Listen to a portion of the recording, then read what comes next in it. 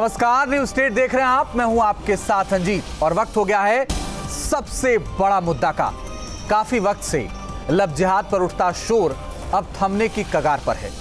UP सरकार ने लब जिहाद को आधार बनाकर धर्मांतरण पर रोक लगाने की ठानी है और कैबिनेट से पास कराकर अध्यादेश लेकर आई है, जिसका नाम है विधि विरुद्ध धर्म संपरिवर्तन प्रतिषेध अध्यादेश 2020 जिसमें 10 साल तक की सजा का प्रावधान है। इसके अलावा और भी काफ़ी चीज़ों का इसमें ख्याल रखा गया है। यूपी में लफ्जात के बढ़ते मामलों के बीच इलाहाबाद हाईकोर्ट ने एक अहम फैसला सुनाया। हाईकोर्ट ने कहा कि किसी भी व्यक्ति को अपनी पसंद का जीवन साथी चुनने का मौलिक अधिकार है। महज अलग अलग धर्म या जाति का होने की वजह से किसी को साथ रहने या शादी करने से नहीं रोका जा सकता है। दो बालिग लोगों के रिश्तों को सिर्फ़ हिंदू या मुसलमान मानकर नहीं देखा जा सकता। अपनी पसंद के जीवन साथी के साथ शादी करने वालों के रिश्ते पर ऐतराज जताने और विरोध करने का हक न तो उनके परिवार को है, न ही किसी व्यक्ति या सरकार को। अगर राज्य या परिवार उन्हें शांतिपूर्वक जीवन में खलल पैदा कर रहा है तो वो उनकी निजता के अधिकार का अतिक्रमण है। लेकिन अब योगी सरकार के अध्यादेश में भी न तो लव जिहाद का ज़िक्र है और न ही लव मैरिज के खिलाफ। यानी कि हाईकोर्ट के फैसले के साथ यह अध्यादेश है। यानी कि अध्यादेश में प्रेम पर प्रतिबंध नहीं है, लेकिन छल, कपट, फरेब करने वालों पर शिकंजा ज़रूर कसेगा। और यही मकसद भी था। इससे पहले कौन सा विवाह प्रेम विवाह है, कौन सा लव जिहाद है, इस मामले पर भ्रम के हालात पैदा किए जा रहे थे। और कई बार लव मैरिज को लव जिहाद का रंग देकर भी माहौल बिगाड़ दिया जाता है। ऐसे में इन दोनों के बीच के अंतर को स्पष्ट करना ज़रूरी हो गया था। और यह अध्यादेश उसी अंतर को स्पष्ट करता मसौदा प्रतीत होता है। क्योंकि शादी के पहले या शादी के बाद अगर कोई धर्म परिवर्तन करता है, इसके लिए जिला प्रशासन को जानकारी देनी होगी। दो महीने पहले जानकारी देने के बाद, डीएम की सहमति के बाद, यानी डीएम की अनुमति के बाद ही धर्म परिवर्तन हो सकता है। सरकार ये मानती है कि इससे धर्मांतरण पर सीधे सीधे रोक लगेगी और छल कपट नहीं होगा। आज हम चर्चा इसी पर करेंगे। इसीलिए हमने कार्यक्रम का आज नाम भी दिया है, लव जिहाद पर, कानूनी तलवार।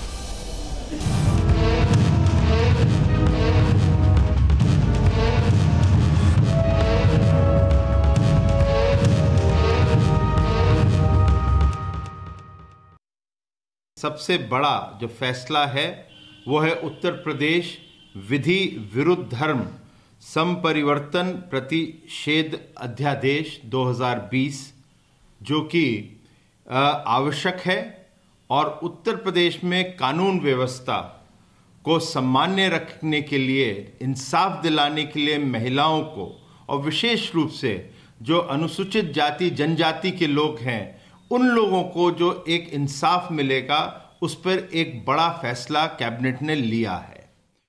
धोखाधड़ी करना, छल प्रपंच करना, विश्वासघात करना और नाम बदल करके किसी लड़की को अपने जाल में फंसाना, फिर उससे विवाह करना, विवाह का नाटक करना और फिर विवाह का नाटक करने के बाद उसको फिर बहुत दयनीय अवस्था में छोड़ देना, जब तक उस लड़की को पता चलता है कि मैं जिससे शादी कर रही हूँ, उसे जो समझा था वो नहीं है, वो कोई और है।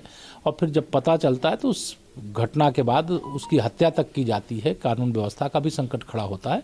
इसलिए उत्तर प्रदेश में आदरणीय योगी जी की अगुवाई वाली भाजपा की सरकार ने सबसे पहले अध्यादेश लाने का फैसला किया है, जिसमें 10 वर्ष तक की सजा का प्राविधान किया जा रहा है। कुछ व्यक्तियों द्वारा ये भ्रम फैलाया जा रहा है कि ये लफ्ज़ जिहाद को लेकर के कानून है। मैं फिर ये स्पष्ट कर देना चाहता हूँ कि मैंने अपनी पूरी रिपोर्ट में लफ्ज़ जिहाद शब्द का प्रयोग नहीं किया है। हालाँकि ये लफ्ज़ जिहाद शब्द वर्ष 2009 में केरल हाई कोर्ट ने अपने एक निर्णय में ये कॉइन किया था और तब से ये लफ्ज़ जिहाद शब्द चल रहा है। देखिए, मैं फिर स्पष्ट कर देना चाहता हूँ कि जहाँ लव होगा, वहाँ जिहाद नहीं होगा और जहाँ जिहाद होगा, वहाँ लव नहीं होगा। प्यार एक बहुत पवित्र रिश्ता है। प्यार में आदमी दीवाना हो सकता है, पागलपन हो सक, पागलपन हो सकता है, बेगाना हो सकता है। परंतु प्यार में धोखा देने की परमिशन किसी को भी नहीं है और किसी भी धर्म में नहीं है। और इसी पर बात करने के लिए मेरे साथ अशोक पांडे साहब जुड़ रहे हैं। भारतीय जनता पार्टी के प्रदेश प्रवक्ता हैं। राकेश पांडे जुड़ रहे हैं। वरिष्ठ वकील हैं और साथ ही मौलाना अली कादरी साहब जुड़ रहे हैं। मुस्लिम धर्मगुरु, आप तीनों का बहुत स्वागत है। पहला सवाल, अशोक पांडे साहब आपसे। आप तो जिहाद के खिलाफ कानून ला रहे थे। लब जिहाद हल्ला कर रहे थे।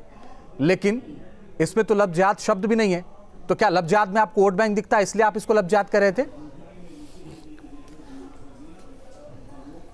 देखिए आपको बता दें कि अभी अभी एक अब मैं सुन रहा था आप, आपके उसमें जो बोल रहे थे कि लब होगा तो जिहाद नहीं होगा जिहाद होगा तो लब नहीं होगा। निश्चित तौर पे उनकी बात से मैं सहमत हूँ। ईमानदारी की बात बता दें प्रेम के हम विरुद्ध नहीं हैं लेकिन जिस तरह से छद्म नाम दे लेके जिस तरह से लड़कियों को अपने जाल में फंसा के और उसके बाद जबरन धर्मांतरण करने का काम होता है हत्याएँ हो जाती हैं मारा पीटी होती है तलाक कह के उन्हें जिस तरह से उसको लड़कियों की दुर्गत होती है ये मामले सैकड़ों हज़ारों के रूप में प्रकाश में आए तो निश्चित तौर पे ये फैसला लिया गया कि जो लोग धर्मांतरण कराते हैं जबरन उस बेटी को मारते पीटते हैं ऐसा कानून बनेगा कि अब कोई किसी को धर्मांतरण कोई करा नहीं पाएगा। तो अशोक पांडे जी ये कानून धर्मांतरण के विरुद्ध है के विरुद्ध है? से गोद डाले हत्याएँ हो गई।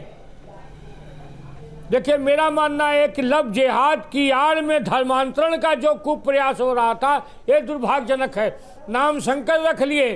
और जब शादी हो गई तो पता लगा नाम उनका दूसरा है दूसरे धर्म के हैं और उसके बाद उस लड़की को परेशान करते लेकिन सरकार तो ये नहीं कह रही है कि लब जिहाद के लब जात की आड़ में धर्मांतरण वो तो ये कह रहे हैं कि सीधे सीधे धर्मांतरण जो हो रहा था उसके खिलाफ हम कानून लेकर के आए और सख्त कानून लेकर के आए। ये तो आप कह रहे हैं लब जिहाद। लब जिहाद क्योंकि आपको वोट बैंक दिखता होगा इसमें। लब जिहाद की आड़ में जी नहीं लब जिहाद की आड़ में धर्मांतरण ही मेन मतलब था। उसी वो भी उसके अंतर्गत आता है इसमें कोई धर्मांतरण अब नहीं होगा। अब अगर प्यार है तो कोई बेटी प्रताड़ित तो नहीं होगी। हम्म। अब जिहाद नहीं होगा। Okay sir. आ, हम प्यार का तो हम लोग है। आदर्श मानते ओके अशोक पांडे साहब। मेरे साथ विनोद बंसल जी भी जुड़ गए प्रवक्ता बीएचपी के। विनोद बंसल जी बहुत स्वागत है आपका। आप तो लगातार ये मांग करते रहे कि भाई कानून आना चाहिए। आपको लगता है कि जो सरकार कानून लेकर के आई ठीक है या और परिवर्तन या और सख्त कानून की ज़रूरत थी? ये देखिए कानून का भी अध्ययन करेंगे पूरा और उसके बाद कानून के पूरा ओवरऑल तो तब भी बताऊँगा मैं आपको लेकिन कुल मिला के ये है कि कम से कम एक पहल हुई है। देश के अंदर एक पहली सरकार जिसने कि एक इस तरह का एक कड़ा कानून बनाने की कोशिश की है। और ये स्वागत है कदम है और इसमें मुझे लगता है कि सभी लोगों को across the party line across the religion and across the caste and creed जो है ना, सबको इसका समर्थन करना चाहिए था। देखिए, इसकी आवश्यकता क्यों पड़ी? है बड़ा गंभीर मुद्दा है। ये समझना पड़ेगा कि जो लोग लव जिहाद को, लव मैरिज से तोलते हैं, जो लोग जो है प्यार को और जिहाद से तोलते हैं, ये बिल्कुल विपरीत टर्मिनोलॉजी है। एक तरफ़ पाप है, एक तरफ़ प्यार है। प्यार को पाप नहीं से नहीं तोला जा सकता। देखिए जो लोग कानपुर का अगर सीबू अली सचिन बनकर के शादी करता है नौवस्था का अगर फतेह खान आर्यन मल्होत्रा बन के शादी करता है हम्म। आगरा का इकराना अगर रवि बन के शादी करता है रांची का रकीबुल हसन अगर रंजीत कोहली बन के शादी करता है सीकर का अगर इकराना कबीर शर्मा बन के शादी करता है और बरेली का खालिद अगर अमन बन के शादी करता है और ये सब लोग ऐसे मेरे पास एक अनगनत लिस्ट है आप आप काउंट नहीं कर पाओगे और उसमें से जाने कितनी मीना को अमीना इन्होंने कितनी निधियों को और नादिया बनाया, कितनी पूजा को, जोया बनाया, कितनी अंजलि तिवारी को आयसा बनाया और अंत तो गत्वा उनका असर क्या हुआ? या तो वो आत्महत्या कर गई या फिर उनको मर्डर कर दिया गया। या फिर उनको इस्लामिक जिहादियों ने अपने जिहाद की लश्क को पूर्ति करने के लिए हम्म। और उन्होंने आतंकवाद की राह में धकेल दिया या फिर जो इस्लामिक शेख हैं अरब के शेख उनको बेच दिया। तो ये जो एक षड्यंत्र के तहत ये कार्यक्रम चल रहा था इनका हम्म। उस पर रोक लगनी चाहिए थी। देखिए हम किसी प्यार के खिलाफ नहीं है कोई लव मैरिज के खिलाफ नहीं है हम किसी तरह की कोई बंदिश किसी युवाओं पर नहीं लादना चाहते बिल्कुल नहीं चाहते हम्म। और ये सब आ, ये सभ्य समाज का हिस्सा भी नहीं है हम कोई इस्लामिक जिहादियों की तरह कट्टरपंथी नहीं है कि जो कुछ कुरान में लिख दिया वही जो है वो अपना पत्थर की लकीर होगा चाहे वो आ, उस बलिए कह दे कि भाई ये जो जो इस्लाम को नहीं मानता जी। वो काफिर और काफिर की सजा मौत है। ठीक है। हमारे ऐसा कुछ नहीं होता। हम तो सर्वे बंधु सुख ने सर्वे संत निरामय की बात करते हैं वसुदेव कुटुंबकम की बात करते हैं तो हमारे लिए कौन पुराया कौन अपना? लेकिन प्रश्न ये है कि जो धोखे से ऐसा काम कर रहा है ठीक है सर। तो धोखेबाज के साथ तो उस पर रोक लगनी चाहिए जो धर्मांतरण राष्ट्रांतरण है उसको पूरी तरह से प्रतिबंधित किया जाना ओके। मौलाना मौलाना अली कादरी साहब स्वागत करेंगे इस नए कानून का आप। साहब ऑलरेडी हमारे पास डोमेस्टिक डोमेस्टिक वायलेंस का कानून है। आप भी जानते हैं मैं भी जानता हूँ। हम्म। महिलाओं के महिलाओं के लिए भी हमारे पास कानून है सबको मालूम है। रहा सवाल योगी जी जो यूपी के मुख्यमंत्री बने हैं वो इसी एजेंडे के तहत तो बने हैं कि मुसलमानों को किसी तरीके से टारगेट करो उनको तकलीफ़ दो उनको सताओ। तो अब ये जो कानून बना है ये कानून सिर्फ़ और सिर्फ़ मुस्लिम नौजवानों को परेशान करने के लिए बनाया गया है। जिसको भी मैं इस कानून को तो बना है। कानून को जो है विरुद्ध नहीं है। इसका मतलब आप मानते हैं कि लव जिहाद सही है। ये जो अब तक के लव जिहाद की जितनी भी स्टोरीज बनाई गई ना सर बताइए, ये सारी स्क्रिप्ट जो है, है ये सारी स्क्रिप्ट लिखी जाती है ये नागपुर में लिखी जाती है। ये पता है हमें कहाँ लिखी जाती है कहाँ प्लान किया जाता है किसी तरीके से मुसलमानों को कैसे टारगेट करना है? को इसलिए मारा गया गोली। हाँ हाँ जहाँ जहाँ जहाँ जहाँ थी। ये सही है? ना ना बिल देखिए हरियाणा के वाकई की है? हम खुद जो है कड़ी निंदा की है। कि अगर किसी बेकसूर का अशोक पांडे कत्ल साहब किया एक मिनट रुक जाता जाइए है अशोक पांडे साहब एक मिनट रुक जाइए। मौलाना अली कादरी को बोलने दीजिए। मौलाना अली कादरी साहब मैं देखिए मैं देखिए मौलाना अली कादरी साहब आपने कहा कि मुस्लिम लड़कों को परेशान किया जाए। मैं आपसे जानना चाहता हूँ इस कानून में ऐसा क्या है जिससे मुस्लिम लड़के परेशान होंगे उनको परेशान किया जाए? बताइए। देखिए साहब अब तक के जितनी भी मीडिया ट्रायल और स्क्रिप्ट तैयार की गई है वो यही तो किया गया ना कि दो साल के बाद आप स्क्रीन पर लाकर बोल रहे हैं कि इसको धर्म परिवर्तन के लिए जो है ज़ोर ज़बरदस्ती की जा रही थी। अगर लड़की को यह पता नहीं था कि वो मुसलमान है तो फिर दो साल तक क्या करते रहे? सर मैं ये कह रहा हूँ आपको आपको थोड़ी जानकारी की कमी है मौलाना अली कादरी। मेरठ में दो हत्याएँ हुई। मैं आपसे ये जानना चाहता हूँ मैं आपसे सीधा सवाल कर रहा हूँ कि अगर सरकार कानून लेकर के आए मुझे बताइए आप कि पे परेशान करने वाली बात कहाँ है? इस कानून में, बोलिए। परेशान परेशान करने वाली बात यही है साहब कि कई ऐसे मुस्लिम नौजवान थे जिसको पुलिस ने आतंकवादी करके जेल में डाल दिया। बाद में कोर्ट से इनको इंसाफ मिला, बाइज्जत बरी हुए। तो ऐसे किसने कितने नौजवानों को अब ये कानून के तहत परेशान किया जाएगा? कि इन्होंने धर्म के लिए तरफ़ परिवर्तन के लिए ज़ोर ज़बरदस्ती की। उसके ऊपर एफ़ किया जाएगा उसको तंग किया जाएगा और मुसलमानों को परेशान किया जाएगा। नहीं करा पाएगा अब कोई बेटी नहीं मरेगी अब कोई बेटी प्रताड़ित नहीं होगी ये इसलिए कानून है। वो जो लड़की को गोली मारी गई उस घटना की हम कड़ी निंदा करते हैं और उसको सजा देने की आपसे मांग करते हैं। अब उसकी हम हुकूमत क्या से मांग? करेंगे। कि उसको आप गोली मारो चौराहे पे खड़ा करके। ऐसे दरिंदों को जीने का कोई हक नहीं है। कर लेती तो बच जाती। ये सब स्क्रिप्ट है साहब। अशोक पांडे साहब आपको आप बोलने नहीं दे रहे हैं। अशोक पांडे साहब आप उनको बोलने नहीं दे रहे तो हैं। वो जो बोल रहे हैं उनको उसको सुनिए तो सही। वो जो बोल रहे हैं अशोक पांडे साहब उसको सुनिए तो सही। वो क्या कह रहे। हैं? वो पहले ये कहते थे वो मौलाना अली कादरी जो पहले ये कहते थे नहीं नहीं कहाँ लफ्जियात जिहाद हो रहा है और क्या हो रहा है इसमें? अब कानून बन गया तो कह रहे हैं कानून ला करके परेशान किया जा रहा है। मैं आऊँगा मौलाना अली कादरी साहब। साहब। मैं दोबारा आपके पास आऊँगा।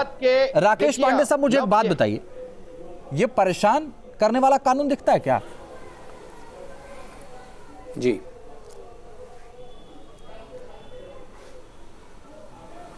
देखिए, कोई भी कानून परेशान करने वाला दिखता नहीं है। उसके इम्प्लीमेंटेशन में परेशान करने की नीयत हो सकती है, लेकिन फ़िलहाल जो कानून बना है, उसमें कोई ऐसी बात नहीं है जिसपे ये कहा जाए कि किसी व्यक्ति विशेष को या किसी वर्ग विशेष को परेशान करने के लिए कानून बना है।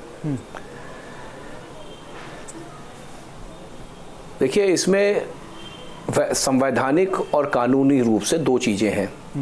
एक तो कोई भी दो वयस्क स्पेशल मैरिज एक्ट में अपने धर्म में रहते हुए शादी कर सकते हैं। तो दो विभिन्न धर्म के लोगों को यदि शादी करना है तो शादी पे कोई मनाही नहीं है। लेकिन यदि शादी जैसे पवित्र रिश्ते को सिर्फ़ इसलिए इस्तेमाल किया जाए कि हमें किसी का धर्म बदलवाना है और धर्म बदलवाने की नीयत से ही इश्क हुआ प्यार हुआ और शादी हुई। तो मेरे ख्याल से ऐसे व्यक्ति के साथ जो है कानूनी कार्यवाही होना आवश्यक भी है। जी। जो राइट टू प्रोफेस रिलीजन है हमारे यहाँ आर्टिकल 25 में राकेश जी आप अपनी बात उसको। सब्जेक्ट टू पब्लिक भदौरिया भी आ गए हैं, उनके पास हेल्थ मोरालिटी बोलिए सर। एंड पब्लिक ऑर्डर तो ज्ञान देते रहेंगे मुझे भी निकाल दूसरे जो आपका राइट टू प्रैक्टिस और प्रोफेसर रिलीजन ऑफ़ चॉइस है वो subject to public order morality and health है। यानी अगर किसी के रिलीजन के प्रैक्टिस में पब्लिक ऑर्डर डिस्टर्ब होता है मोरालिटी या हेल्थ डिस्टर्ब होती है तो उसको रेगुलेट किया जा सकता है। Okay sir. ठीक है सर। तो आज की तारीख में शायद सरकार ने ओके सर। ये मान के चल रही है कि इससे पब्लिक ऑर्डर डिस्टर्ब करने वाले जो भी मैं मैं आता हूँ मैं आता हूँ सर आपका। मेरे साथ अनुराग भदौरिया भी आ गए हैं। प्रवक्ता हैं समाजवादी पार्टी के। अनुराग जी स्वागत करेंगे कानून का। आप तो ला नहीं पाए नई सरकार ने ला। देखिए मैं फिर वो जो मैं मुझे पूरा विश्वास है कि मैंने बहुत सुना है सबको और मेरी। बात भी कोई सुनेगा। बिल्कुल सर। देखिए समाजवादी लोग या हम लोग सब लोग ने पहले ही बोला था और आज भी बोल रहा हूँ कि कोई व्यक्ति चाहे किसी भी जाति धर्म का हो अगर किसी बच्ची के साथ धोखे से संबंध बनाता है और उसके पास अपनी आइडेंटिटी छुपाता है उसे कड़ी से कड़ी सजा मिलनी चाहिए। लेकिन भारतीय जनता पार्टी इतने दिनों से एक शब्द का इजहार किया था लफ्ज जिहाद लेकिन कानून में तो शब्द का इस्तेमाल नहीं किया। सालों से हल्ला मचा रहे हैं, एक साल से। लफ्ज जिहाद लफ्ज जिहाद अरे तो जब धर्म परिवर्तन की बात आ रही थी तो सारे धर्मों की बात थी हिंदू, मुस्लिम, सिख, ईसाई, क्योंकि हिंदुस्तान की बात हो रही थी, कानून ऐसा ही बनता है और ऐसा ही कानून बना। लेकिन आप फिर लफ्ज जिहाद का नाम क्यों इस्तेमाल कर रहे थे जब आप उसको कानून में नहीं इस्तेमाल कर पाए? आप कानपुर की घटना का ज़िक्र करते थे, क्राइम है। जिसने भी ऐसा किया, उसको सजा मिलनी चाहिए। दंडनीय अपराध है। लेकिन कानपुर की घटना की बात करके हथरस की बात नहीं करेंगे, क्योंकि वो बच्ची आपको नहीं नज़र आती आपकी। उसके साथ अन्याय हुआ, उसका नाम बीजेपी वाले नहीं लेते। एकदम भूल गए हैं। सोचिए आप, लखीमपुर की बच्ची की हत्या होगी उसके साथ अन्याय हुआ, भूल गए। बुलंदशहर में बच्ची को जला दिया गया, उसका नाम तक नहीं लेते बीजेपी के लोग। क्यों भाई? आखिर क्यों? हम तो कहते हैं किसी भी जाति धर्म की बच्ची हो अगर उसके साथ अन्याय होगा तो उसको कड़ी से कड़ी सजा मिलनी चाहिए। हम इसके पक्षधर हैं और हम हमेशा लोग बात कहते हैं लेकिन आप इसका राजनीतिक रंग देने में लगे थे। और आज आप कर लिए आप थे। लफ्ज जिहाद का शब्द तक उसमें ऐड नहीं कर पाए। इसके मतलब आप जनता के साथ धोखा कर रहे थे। जनता का ध्यान भटकाने का काम कर रहे थे। बेरोजगारी महँगाई किसानों पे अत्याचार जिस तरह कोरोना से मौतें हो रही है इस पे चर्चा न हो पाए इसलिए लफ्ज जिहाद आप चला रहे थे एक साल से। एक साल से क्यों चला रहे थे जिहाद क्योंकि आप चाहते थे कि बेरोजगारी पर चर्चा ना हो पाए, इसी पे उलझा के रखे रहो। इसी में लोगों को उलझाओ। आप चाहते थे महिलाओं पे जो अत्याचार उत्तर प्रदेश में बढ़ा उसमें चर्चा ना हो पाए। हथरस की बच्ची पे चर्चा ना हो बाराबंकी के बच्ची पे चर्चा ना हो बुलंदशहर की बच्ची पे चर्चा ना हो लखनऊ की बच्ची पे हत्या हुई तो चर्चा ना हो उन्नाव की बच्ची पे हत्या हुई चर्चा ना हो कानपुर की बच्ची के साथ हत्या हुई चर्चा ना हो। की तो एक दलित मुख्यमंत्री की तो हत्या करते करते बचे बाप रे बाप इनसे बड़ा मतलब महिलाओं का में सम्मान कौन वही हमारे संविधान में होता है। जब संविधान में जो चीज़ें हैं तो हमें संविधान का सम्मान करना चाहिए। जो संविधान में शब्दों का इस्तेमाल नहीं होता उन शब्दों का इस्तेमाल कोई राजनीतिक पार्टी करती है तो उसमें भी तो कार्रवाई होनी चाहिए। जो गैर कानूनन है जो शब्द गैर कानून माना जाता है उस पर कार्रवाई क्यों होनी चाहिए? अगर शब्द गैर कानून है कार्रवाई होनी चाहिए में कानून बना है वास्तव में बढ़िया बना है। इस बात से साफ़ ज़ाहिर हो गया।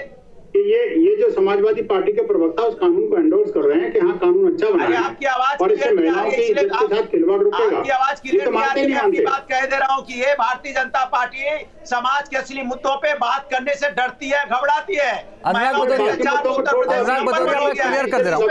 अनुराग भदौरिया मैं क्लियर कर दे रहा हूँ। अनुराग भदौरिया विनोद बंसल जी ये कह रहे हैं अरे साहब कि आप विरोध कर रहे हैं कानून का। का विरोध कर गुंडों का इनकाउंटर करते हैं तो ये पार्टी मूर्तियाँ है? लगाने विनोद बंसल जी, अनुराग भदौरिया बोला है दिखाइए। कानून का कोई विरोध नहीं कर रहा है। जो कानून अब मैंने पहले बोला था इसके पहले भी यहाँ पे यहाँ पे धारा नहीं। कोई भी धर्म हिंदू मुस्लिम सिख ईसाई अगर धर्म के नाम पे या जाति के नाम पे धोखा दे के किसी महिला को फंसाता है उसके साथ धोखा देता है तो उसका अत्याचार होना चाहिए। लेकिन बंसल साहब की बच्ची के बारे में क्यों नहीं बात करते? की की हूँ। बच्ची? लेकिन समझ में नहीं आ रहा कि की हैं। बताइए ना हैं ऐसा बच्ची हो है की नहीं थी?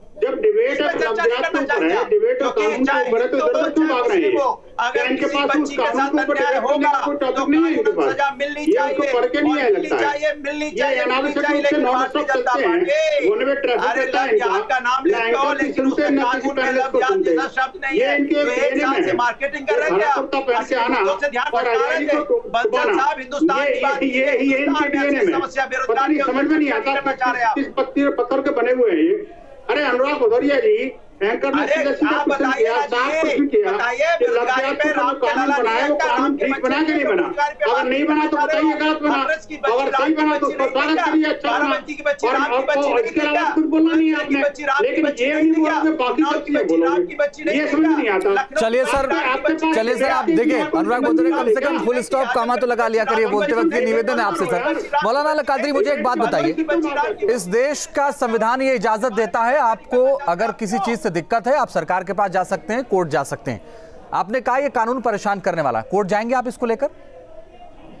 मैं आज दोपहर ही में टीवी चैनल से बात कह चुका हूँ कि मैं जिस सीरतुलनबी एकेडमी का चेयरमैन हूँ इस एकेडमी के तहत हम सुप्रीम कोर्ट में इस कानून को चैलेंज करेंगे और सुप्रीम कोर्ट से ये आग्रह करेंगे कि न सिर्फ़ यूपी में बल्कि ऑल ओवर इंडिया इस कानून पर पाबंदी लगाई जाए हिंदुस्तान के विरोधी रहे हैं।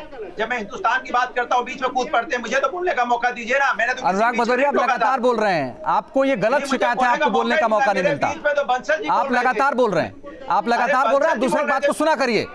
अरे सर बंसल जी मेरे बीच में बोल रहे थे मैं कहा बोल रहा था? मुझे बोलने का मौका कहा मिला? बंसल भाई आपने बोल लिया फिर बंसल जी बोले आपका आवाज़ नहीं है। मैंने आपको बताया बंसल जी ये बोल रहे हैं। अरे तो जब मैं जवाब दे रहा हूँ फिर बंसल जी बोल रहे हैं। बंसल जी मैं हिंदुस्तान की बच्चियों की बात कर रहा हूँ। सर आपसे मैं कह रहा हूँ आप कानून का स्वागत करते हैं विरोध करते हैं। सीधा सवाल किया हमने। आप बता दीजिए ना प्लीज़ भदौरिया जी। होगा तो कानून सजा उसको मिलनी चाहिए। इन्होंने लव जिहाद का शब्द का इस्तेमाल किया लेकिन आज लव जिहाद का शब्द कानून में क्यों नहीं इस्तेमाल हो रहा है? इसके मतलब लव जिहाद का नाम का कोई शब्द था ही नहीं। इन्होंने इतने दिन तक हिंदुस्तान को बेवकूफ़ बनाने की बात की है। इसमें क्या कार्रवाई होगी जरा बता दीजिए मुझे। अब लब जिहाद मजबूर बोलते ये लोग कानून का विरोध करते कौन कानून का विरोध करता सब चाहते हैं हिंदुस्तान में हर बच्ची को न्याय मिलना चाहिए। किसी भी जाति धर्म की हो। उसको न्याय मिलना चाहिए जो है भारतीय जनता पार्टी न्याय नहीं दिलाना चाहती राकेश जी है। एक आखिरी सवाल विषय है। से केवल राकेश जी बोलेंगे। एक आखिरी सवाल सर 20 सेकंड में जवाब दीजिएगा। कोई सुप्रीम कोर्ट अगर इस कानून के विरुद्ध जाता तो कोई मतलब होगा इस वक्त? जी। क्योंकि ऐसा कुछ है दिखता तो है नहीं।